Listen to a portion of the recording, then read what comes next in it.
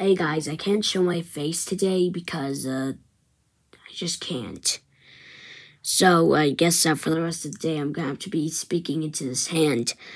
Yes, this will be the back door to your nightmares. Anyways, so if you're waiting uh, for the new uh, object uh, show season two, what was it calling in?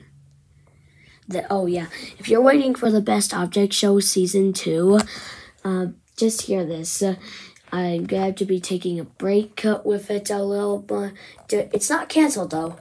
I just I just need to build another object show.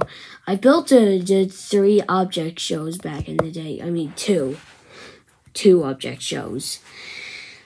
The one was with uh, the face guy and basically the rock.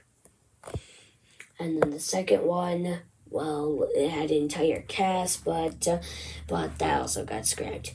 But now I made uh, one that went very successful named the Best Object Show.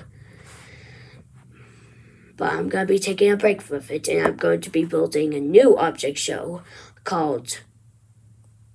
Yeah, I'm not going to spoil it for you. You'll only have to find out later. Anyway, yeah. So I'm going to be taking a break from the season two of the Best Object Show. Bye!